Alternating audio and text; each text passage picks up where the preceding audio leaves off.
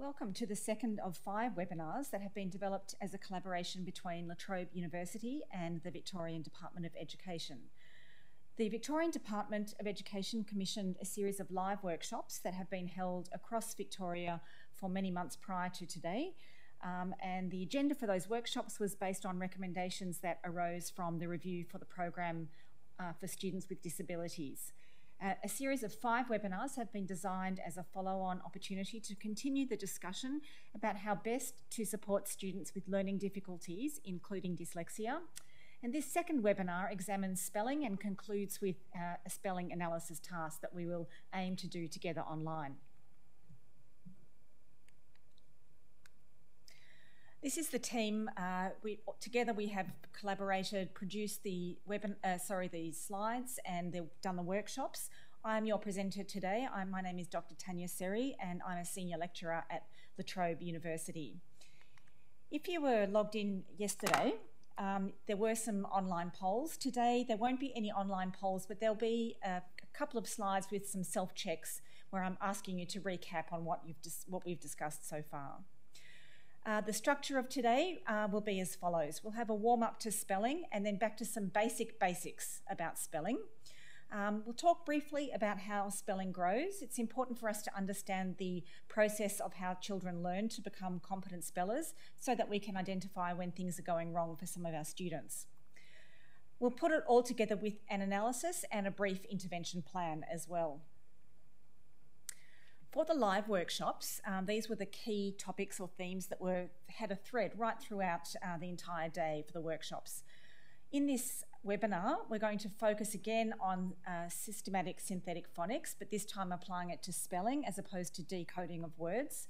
But I think these other themes come very strongly through when we talk about spelling as well. The importance of explicit instruction for teaching students how to spell uh, based on evidence, um, the importance of oral language competency. The more words we know, the easier it is for us to learn to spell them. And similarly, as I said yesterday, what I talk about is important for all students, but absolutely critical for those who have learning challenges. As a warm up, um, so we don't make errors like this poor painter who's spelt the word incorrectly and probably has to go back and paint it again. I'd like to just acknowledge that uh, the research um, and a lot of the focus is on reading, and uh, writing tends to get a little bit of a, a, less focus. It's like spelling and then writing by in by extension. I like the poor cousins of reading. Um, but it's really important that we think about spelling, which is obviously the way into writing. Uh, spelling is incredibly important for all of um, students' academic tasks. Uh, and we need to think about how children go from early scribbles, which are absolutely appropriate during the preschool years, to becoming um, a competent speller who can spell a vast array of words. Spelling in these days is extremely important for not just academic tasks, but engaging in social banter such as tweeting, texting, and the like. If we position spelling um, thinking about it as uh, a lower order process. Lower order processes and higher order processes, for example, out of a, an education context, could be we need to learn how to hit a backhand and a forehand as the lower order process before we can then go and play a game of tennis. In the same way, decoding is a lower order process critical for being able to read for meaning.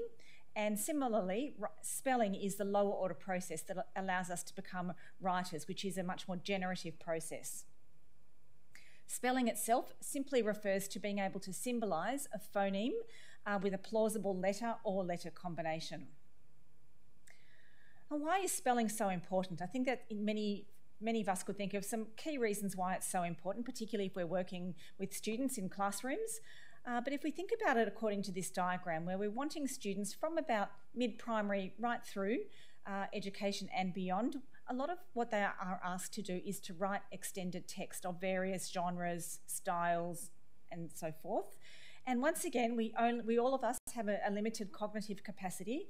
So if we can draw a line here so that uh, this smaller section can become the area that focuses or helps students um, use accurate spelling and punctuation conventions, essentially all of the orthographic conventions to write, it means that uh, students have much more cognitive resource available to them for generating writing um, regardless of the genre, being able to use cohesive linguistic devices, a broad vocabulary, complex language, and of course, meeting the needs of the task.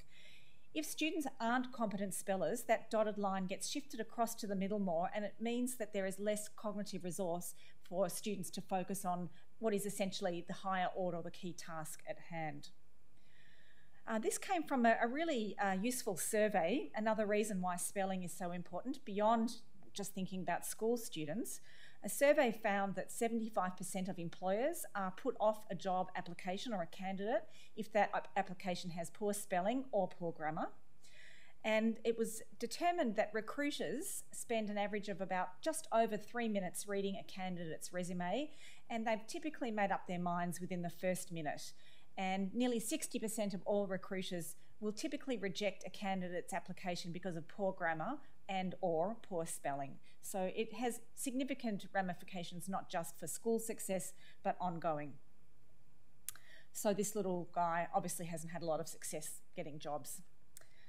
Now let's just think about some basic basics when we are uh, talking about spelling and uh, that will prepare us well for going on to do the analysis. Uh, I thought this cartoon said it well. Did you hear that they've invented this amazing thing called spell check? I certainly remember when spell check became a thing. Um, it was quite a while ago and was pretty excited about it, even though I've always been a competent speller.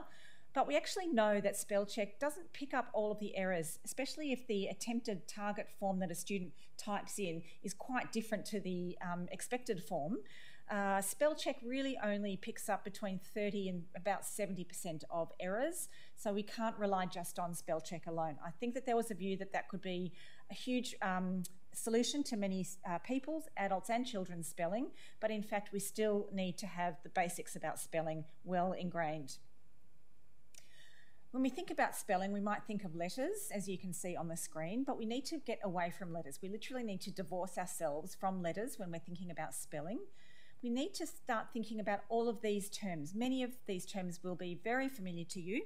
Um, the, notion, the term singleton I've just used to refer to a single letter uh, that refers to a sound. Um, but what I really want to draw our attention to are thinking about uh, the distinction between digraphs and then tri and quadgraphs compared to consonant blends or clusters. And I'd also like to spend some time thinking about the schwa, uh, which is a vowel. It's called the neutral vowel. Singletons are the basics. Uh, we can have them as vowels or consonants, such as the a in cat and the a in cup or the p in pi, and that can appear at the middle of the word or the end of the word, z in zoo. Then we have digraphs, and a digraph is defined as two letters that go together but just make one sound or one phoneme. They, of course, can appear as consonants and vowels as well. So, I've some examples here the A in pay and the U in zoo, but that U might also be book, um, the U in book. Uh, the consonants might be the sh sound in shoe and the th sound in this, the, the, the hard or the voiced sound the, and that th can also be articulated as the softer sound, as in the word thing. This thing is hard. We then have trigraphs and quad, quadgraphs. Trigraphs are three letters that go together to make one sound or one phoneme. Uh, there's more vowels than consonants both for trigraphs and quadgraphs. Vowel trigraphs, for example, include the IGH, which says I, the EAU for some words, O as in uh, bureau or bow, consonants, the ch in match, and the sh in schnitzel. That is a word that we have stolen from the German language, so SCH in German is always pronounced sh. So in some words in our language, such as school, the SCH isn't sh, but in some words it is SCH uh, schnitzel. And quadgraphs, I couldn't think of any consonant quadgraphs. If anyone has any, I'd love to hear them. But the few examples that I came across were the A in eight and the O in bow, which may also be oo in through. Then we have consonant blends. Uh, I find that people uh, interchange consonant blend and consonant cluster as long as we're talking about the same thing, I don't think it matters which term we use. But this is when we have two sounds, or sometimes three sounds, as you can see in the bottom line, that just put together as consonants without anything in between, but they constitute two separate sounds. So in initial position, for example, we have the blue in the BL in blue, the cr in cry. In final position, the jump, uh, the ump in jump, and the ndi, nd as in and and hand. And there are a small number of uh, consonant blends that consist of three letters, scr as in scratch, and str as in strap as examples. Now, where it's really important to make the distinction is between digraphs, which are two letters making one sound or one phoneme, and consonant blends, two sounds, sometimes three sounds, that make two or three actual individual consonants. So these three, digraphs, trigraphs, and quadra- quadgraphs, all just refer to one single phoneme. So there is a lot of complexity, as we know, in our language. We know there are 26 letters, 5 vowels, and 21 uh, consonants, but that's never going to be sufficient for our knowledge of teaching children how to spell. We do know importantly that of those 26 letters, there are 44 phonemes in Australian English. If you look at texts from American English or British English, they vary slightly, but it's around 42 to 44. But in Australian English, we have 20 vowels that we managed to extract from our five written letter vowels and 24 consonants. And we have over 200 graphemes, or two, over 200 ways to represent those 44 phonemes. So there is complexity there, and that's where an explicit instruction approach will really assist all children to, to optimise their spelling ability. A grapheme, by definition, is the smallest linguistic unit that carries meaning in a writing system.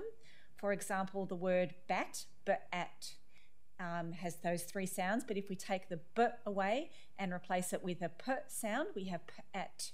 So we have a different word. It carries meaning. So the b and the p in that in that example are two separate graphemes because by changing the grapheme, we change the, completely the meaning of the word. As we know, there are multiple ways to represent the many phonemes that we have in our English language, and the schwa vowel is highlighted because we're going to talk about it next, and it's really important.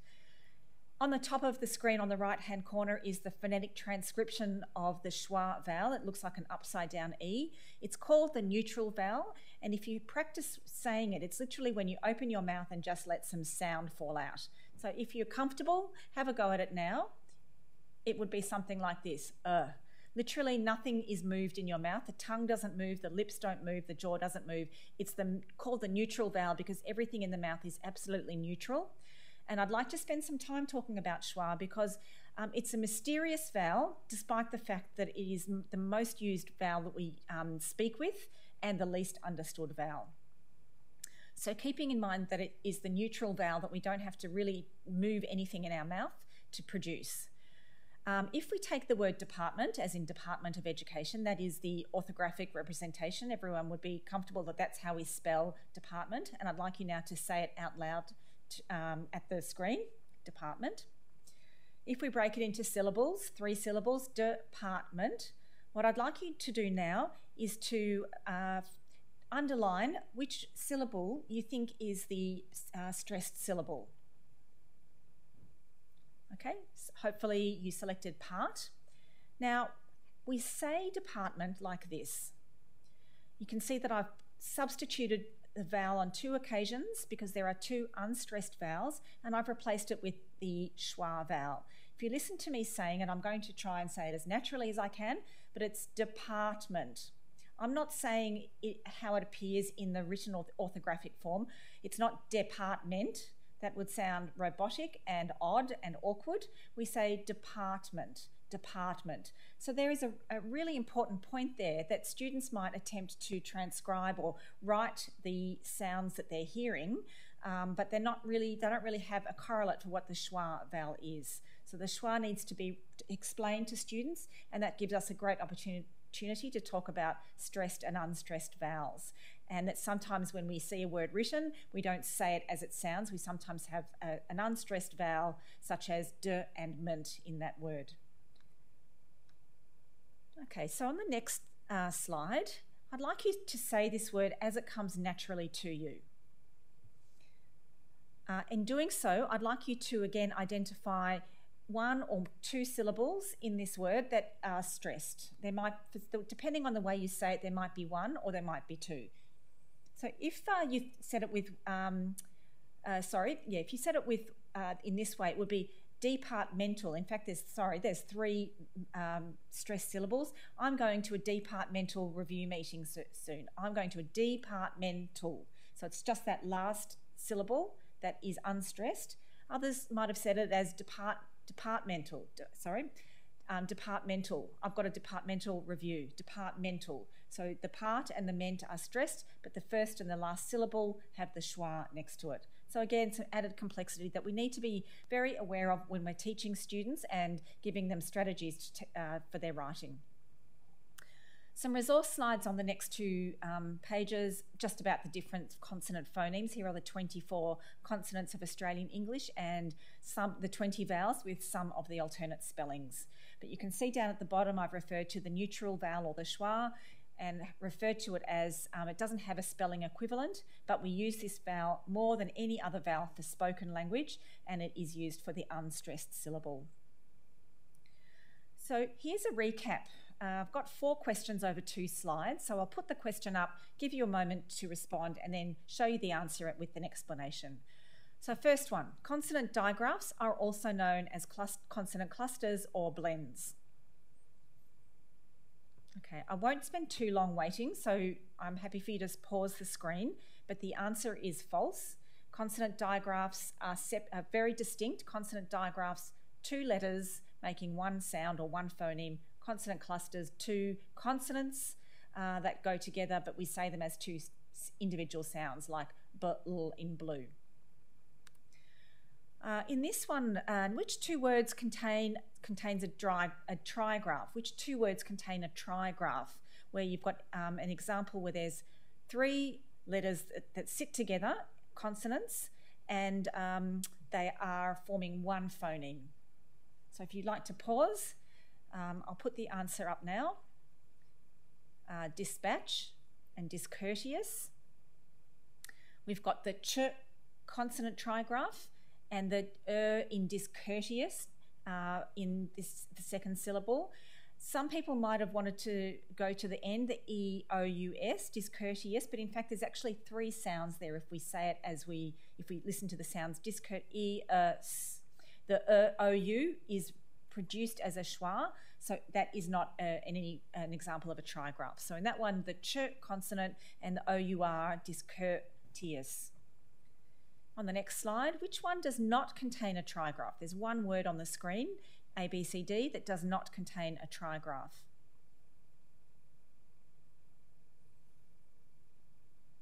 And the answer is instruct. And to demonstrate, we have sh in schnauzer, SCH, TCH, ch in itchy, which could be itch as well, and smidge, the DGE, smidge as well. And the last one, this is just a true false, the spelling pattern TCH and CH often say the same sound. And the answer is true. It's some examples. We have match, sketch, and which, and chip, which, and teacher and there are some rules that we can teach students about when to use the TCH and when to use the CH as well. Again, if anyone would like some more resources, please contact me offline.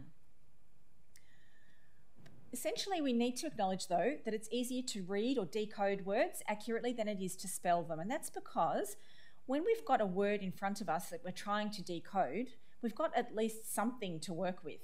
So if you had this word, which isn't a, simple word, the word science, uh, there are many ways that you could attack that, or students might attack that without knowing the word first. They might say skyen, skyenk, sky, and then maybe get there. There's something at least to work with. We need to teach students that many words, the SC at the start of a word often says just the s sound, apart from words like scarf, but very often the SC says a, the s sound.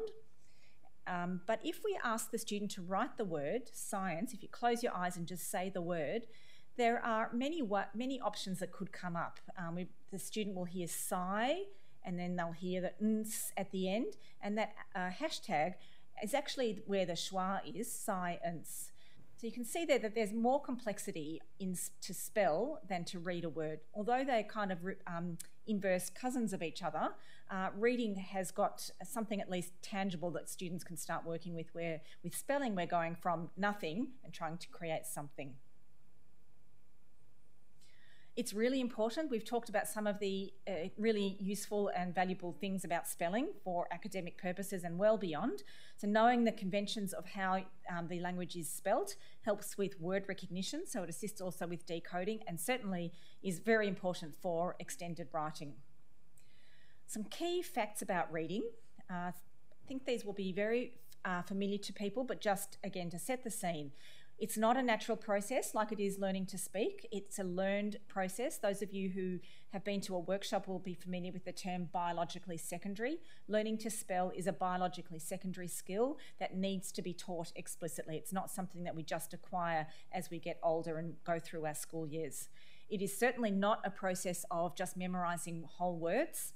Um, it is best taught explicitly um, so that we're teaching students about the linguistic aspects of spelling and a statement such as the following by Goodman, who wrote, Children learn spelling without direction and instruction if they read and write. Another way of saying just immerse them and they will learn to spell is not, we know that that is not the case anymore. So we know that students need to be explicitly taught how to spell, and just leaving them um, um immersed in wonderful, rich literature is never going to get most students over the line and be competent spellers. We have a couple of generations when this was the focus, a couple of generations of extraordinarily capable people who will say, I've always been a poor speller, and that's very much the reason why. Uh, yesterday, if you had tuned in, you would have seen us do this poll estimate the percentage of words in English that have an irregular spelling. Uh, and I'll put this up and I'll show you the results from yesterday, um, only because I want to reinforce the fact. First of all, these are these are the results. Um, can see there was a huge spread across uh, from heaps of irregular words to not that many irregular words, and those that selected E, less than 20%, were quite much more correct. In fact, we know that there's a much more regularity in English spelling or English words than many, many people think. So, once again, we can teach children a lot about rules and patterns, and actually, students learn a lot just through what's called statistical learning or just learning the patterns of how words often look on the page. And I'll come to show you that shortly. But to, again, just as a reminder that we don't have as nearly as many irregular words in English than many of us think, and that's a really important case for why learning to spell should not be a process of memory, rote, rote memory, particularly when the words on a word list that children might be asked to take home and learn and, and rehearse and come back and spell on a test, especially if there's no connections between those words. It's actually going to be quite a futile task. They're just not going to hold on to um, a random list of words. So, how does uh, spelling actually grow? Um, if we think about the constructivist theory, aligned with much more of a whole language ap- approach, akin to what I just showed you before when I put a big cross through the line, that's when we ask students to make or construct their own knowledge about how the spelling system works.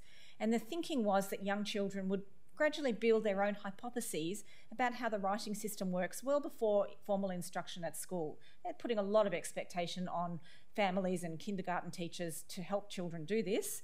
Um, but as posited by Dewey, who said children learn best when they discover the principles behind the system by actively using it.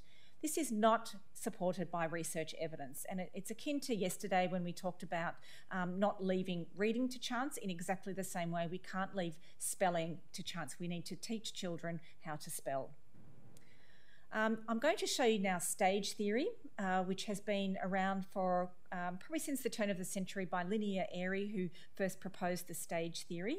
Um, the prephonological stage refers to the kind of scribbles that children make prior to school. They're absolutely beautiful, um, really important in pre writing skills, but essentially they bear little or no relationship to the actual phonology of the word.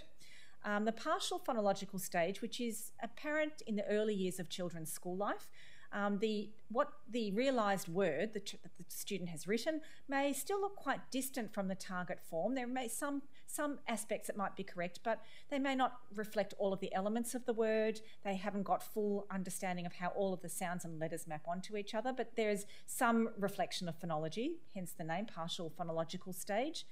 The full alphabetic stage, children have moved much further on. They would be able to map all of the consonant and vowel relationships um, in words, but they haven't learned some of the more sophisticated pieces of knowledge, such as lots of the trigraphs, quadgraphs, and maybe how, um, when morphemes are added to words, bound morphemes, how the spelling might change. So they're getting very close, and consolidated is, is when a student is a competent speller.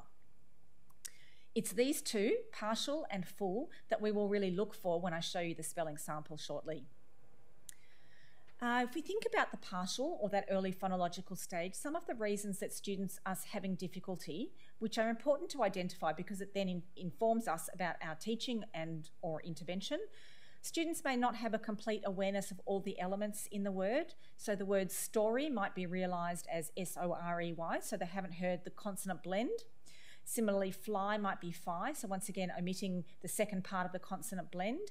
In the word jumped, you can, once again, they've um, missed out one of the two elements of the m per blend.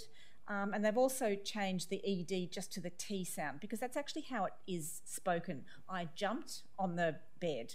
If you say that to yourselves, you'll hear that we actually say it with a t sound, even though the spelling is ed. So there's some really important learning for that last example about the past tense morpheme as well. Uh, students might, their writing might reflect shortcuts because they're just hearing the salient or the really loud sounds. So dog might be g or dg, dog, because the consonants take up more sound than the vowel. Um, the word beaver might be BVA if we're Australian speakers, beaver, and if we're American speakers, it might be beaver, BVR, because they have the final R sound. But once again, taking shortcuts, doing a really good go at it, but having some uh, some of the less salient sounds missing, and certainly the vowels, which are the most challenging part to learn to spell. And there might be uh, divergence between how we say a word and how it, it's actually written, just like jumped that I talked about above. If you say dogs, Again, we say a z sound at the end of dogs, which is what this example shows. Uh, truck, if you say truck, we don't actually say truck, we say truck. Um, so we might see ch instead of the tr as well. And there's some other examples. I went, I like to ski. We often don't say ski, we say ski. We have all these sounds working together. Um, so it actually, the curt sound ends up sounding a bit like a, a G. Similarly, footy, footy sounds, the T sounds a bit like a D. So again, you can play around and practice saying those words so you can hear how, how um, the, there is a slight divergence between how we say the word and how it's actually spelled. But typically, what we see are omissions, substitutions, simplifications, and sometimes intrusions, extra letters that are added in. Once it's full alphabetic spelling, the, the, spelling is far more accurate because students are much further on in their learning and mastery of the letter sound conventions. They do draw on their statistical learning, meaning that they have had a lot of experience reading and spelling, and they can start to see some patterns, uh, some patterns about the way that uh, spelling, uh, spelling letters go together. Um, spellings are very, in this stage, typically plausible even when they're incorrect. For example, um, I did have a student who wrote the word hiked like this. Um, so it should have been like this with the, the correct version, but it's it, it's conceivable to understand how this first version, the longer version, could conceivably be seen as correct. And of course, consolidated alphabetic is when we have sophisticated knowledge, which we know is really important for our, our ongoing success. Um, I talked about statistical learning, so I just want to show you a couple of examples of the sorts of knowledge that we um, kind of get from uh, practicing and reading words and also can be taught. For example, the short e vowel um, is much more commonly um, spelt as single e, e than the e, ea sound. So we have wed, wet, feta, and rest with the e sound, but we still do have red and lead. So the e, the e is typically um, realised or spelled as the e letter more commonly than the ea. So children will just start to learn that that's the typical pattern, but know that there are some exceptions. when we have ea as the short vowel, it's typically um, before a d rather than a b sound. So we have head instead and dead, but again, an exception we have bed. Similarly, the short e when it's just the e sound is much more common before a b than a d as these examples, web, deb, pleb, tell us. The long I sound um, is more commonly represented as IGH, the trigraph, uh, when it's followed by a T. So we have fight, where we have find, fright instead of fried, and sight in, and side, but we still have site um, in different, uh, another homophone as in SIT, the, the building site. So there's lots of statistical learning that goes on as children continue to be engaged with tasks around spelling and writing. What that really tells us is um, spelling is not done phoneme by phoneme or letter by letter. Learning to spell involves sophisticated knowledge about the phonological system and also the broader linguistic system and morphology comes into that in a, a very big way as, as spelling words become more complex. This is from the bulletin, and anyone who is a member of DSF, um, Dyslexia SPELD Foundation out of um, Western Australia, will have uh, may have seen this, but all of you have access freely um, downloadable on the website on the bottom of the screen. There's a lot of information here. I want you just to take note at the moment of the colours, uh, but this is a, a, useful article if you'd like to download it.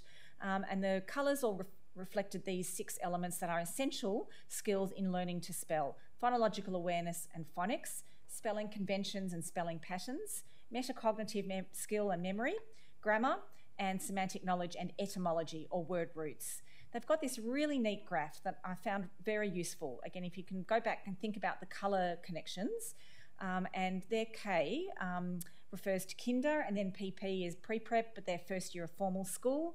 Um, but you can see here at the second year of school, the main focus is on teaching students phonological awareness and phonics and higher order skills such as lots of the conventions of spelling um, patterns and thinking about the grammar and the semantics. There's a small amount of focus, but not that much. By the time students are towards mid and upper primary, it's actually balanced out a lot more. So it assumes that phonological awareness and phonics is far more mastered and more attention can be directed to the higher order skills. And that pattern really continues in the next year and right through. So that was a really neat graph to just also show the progression of, of the focus of teaching children to spell. So let's now, start with our analysis. Um, I've got an example here, and those of you who attended uh, one of the live workshops that went for the full day will have this resource at the end of Module 2. Uh, we didn't work through it in the full day, but it was there as a resource, and I've, I've decided to use this as our spelling task today. So this is Mikey, who's 10 and a half years old. He has had a full assessment of the South Australian spelling test, and his equivalent spelling age is well below his chronological age. So I've got two slides that I'm going to ask you to work through. I'm probably going to go a bit faster than you'll be able to keep up, but there might be some need to stop and start the screen as well. So this is how the task will work. The target word was jam, and he spelt uh, uh, jum. And in the next two in the next two columns, I've asked you to identify are the correct number of syllables reflected, and in this case, yes, and it's easy because there is only one syllable, and are the correct number of phonemes reflected, and in this case, yes, j m is three, j m is three, so he's reflected the correct number of phonemes, so that's a good start. Um, but it's not correctly spelt. And in this case, there is a medial vowel error. So he's showing vowel confusion. In this case, um, between two short vowels, not uncommon at all and he's showing spelling that's at the partial alphabetic stage. So that's the process I'm going to ask you to go through for the list of words um, that you'll see here. The first column is the target word on the test, and the second column in bold is his attempt to spell. So I'd like you now just to pause the screen and complete just the next two columns. Are the correct number of syllables reflected, and are the correct number of phonemes reflected? So pause the screen. I'll just wait about 30 seconds, but then I'll go through the answers shortly.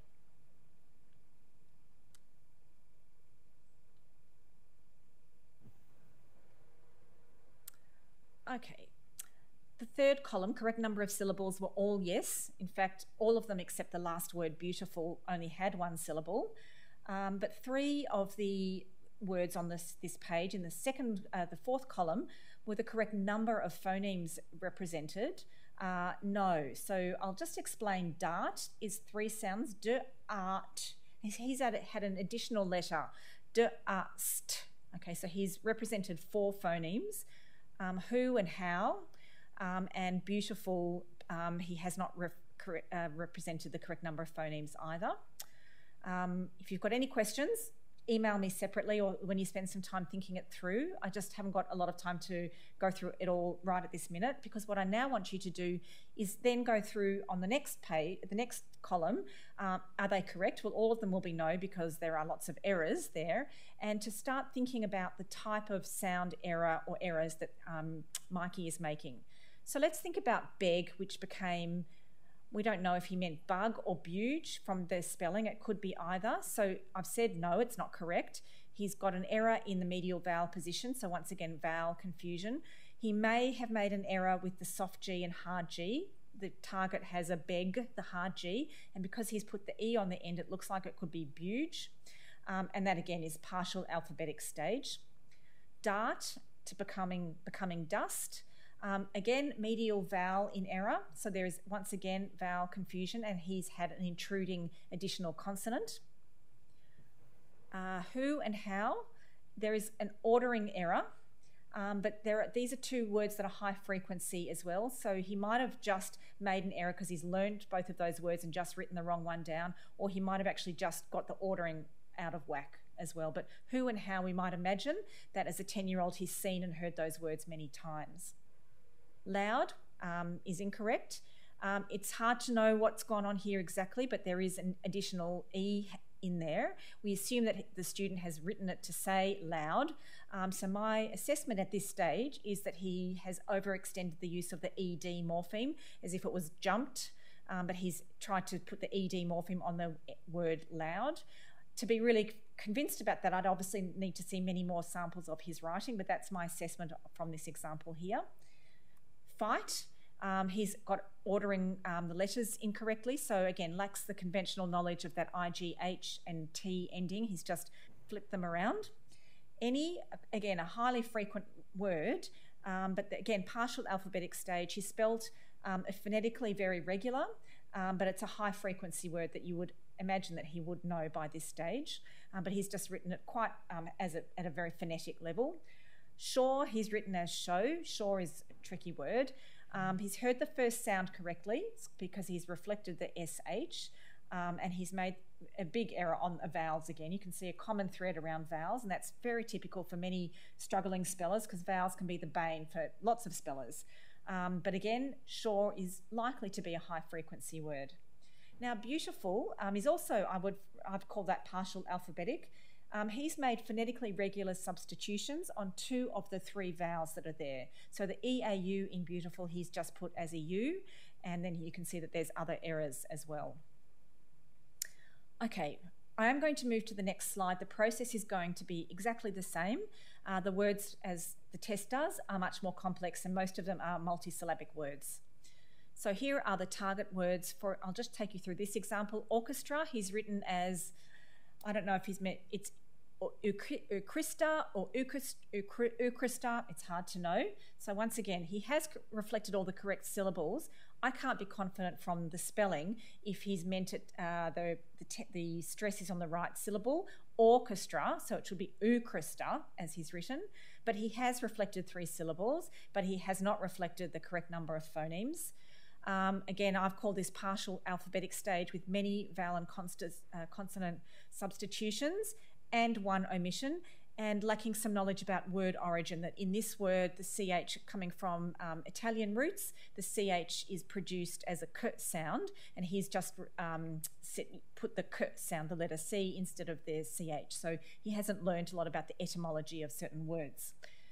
So once again, here are the words that he was asked to write and his version in bold. Um, so I'll ask you to uh, go through the correct syllables and correct numbers of phonemes. Again, there'll be many more errors in the syllables. I'll just give you a few minutes to go through, a few seconds, I'm sorry, to go through that. And let me take you through my responses. Pink highlights error. Equally, equally, uh, put yes and yes for that. Appreciate has become appreciate. Um, so he's left out a whole syllable. Uh, familiar, familiar, formally. Um, it might be formalia, we don't really know from that spelling. Enthusiastic, this is a tricky one. It's hard to say, so I'm not actually going to give it a go, but I have put question marks because it was it was difficult to actually decode his attempt at spelling the word.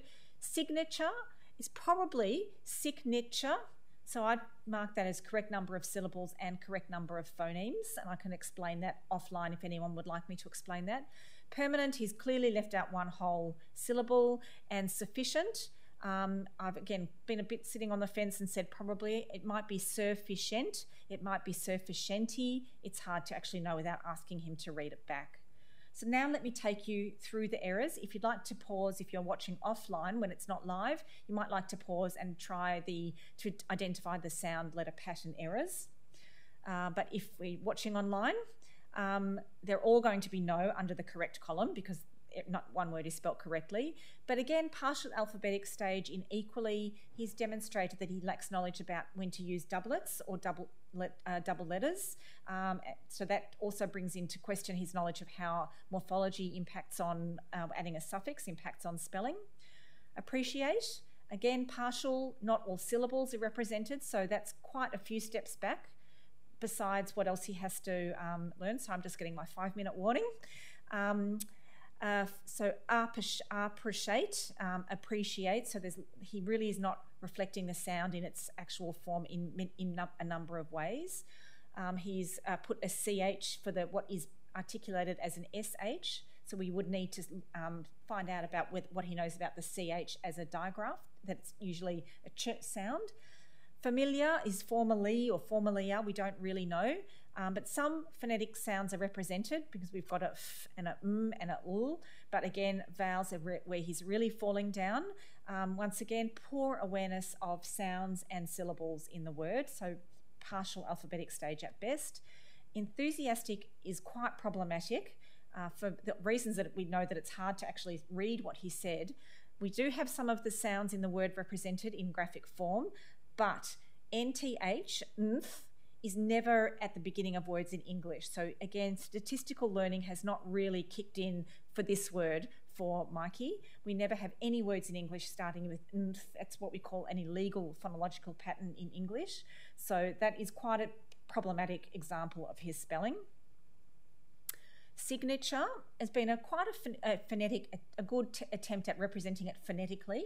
There's lots and lots of more sophisticated knowledge that Mikey needs. So again, some phonetic sounds are represented. You can see the s- sound and the ch sound. If you say signature, um, it's not signature, we say signature as the natural way we speak. So he's attempted and reflected quite correctly some of the consonants, but uh, again, vowels and particularly the ending, the ER ending for the URE ending, he needs to be taught a lot about that. Permanent, we've uh, noted already that um, he's left out one syllable of the word. Typically, if a syllable will be left out, it will be the um, an unstressed syllable, which he's done, permanent. Um, he's left out that medial uh, unstressed syllable. And sufficient. Some phonetic sounds are represented, but there's some intrusions. There's a long vowel in surf instead of sufficient. So he's made that first syllable from a unstressed syllable into a stressed syllable by making a long vowel and, and lots of other errors in there, but has again heard some of the sounds. He has represented um, the sufficient, the SH, with SH in his version. So it's very much at the partial alphabetic stage as well. So that was a quick summary. I think the best way to make use of this is to go through it and stopping and starting the screen. And any queries, please email me offline. I'll collect everyone's queries and perhaps put out a, a document for everyone to see. Um, but let's sum up now. Um, I'm sorry, I'll just have a couple of immediate targets before we sum up. Immediate targets just from this sample, and again, we would need more evidence before we really formulate true goals for Mikey, but let's assume we have a lot more knowledge. The immediate targets are for Mikey to have accurate syllabic awareness for all multisyllabic words, to have phonemic awareness for all regular grapheme phoneme correspondences, to differentiate between all short vowels at an auditory level, because we saw many examples when he was confusing short vowels, to be able to recode or spell all short vowels in CVC words accurately, to accurately use 10 common spelling patterns for di, tri, and quad graphs, such as the IGH, followed by a T ending, to avoid what we saw as the inversion error in the word fight, to accurately spell high frequency words such as sure and any. Whilst I'm advocating that there's a lot that can be taught about spelling, there certainly will be some words that are high frequent, occur frequently, and do need to be t- uh, learned broader targets as he goes on. It's a bit hard to predict because we don't know how he'll respond to the immediate targets, but he does need some work on his knowledge about the origins of word, words or etymology. He needs mastery of long vowels and how to represent them in the multiple ways that they can be represented, when to use double letters versus single letters, and spelling of bound morphemes when they add on to words. In some words, they make no, they just get added on. In some, the spelling is actually changed. So that's where I'd be looking longer term for goals for Mikey's spelling. So, now in sum, we've talked about the fact that fluent and accurate spelling knowledge is a critical precursor, a lower order skill for being able to write. Um, in, in the early stages of learning to spell, Phonological and phonemic awareness are closely linked. If you think back to that nice chart with the six colours going across from kinder right through to end of school. Systematic synthetic phonics instruction benefits students throughout primary school in order to teach uh, to reach consolidated spelling in the same way that we teach decoding.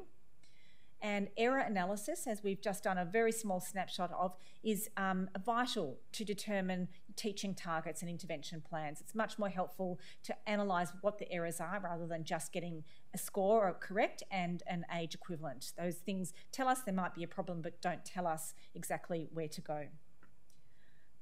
So, in in uh, in finishing, I'd like to thank you all very much for your your time, your attention, and uh, if you'd like to contact any of us by email, our addresses are there, and we all most of us are fairly active on Twitter as well. Thank you very much.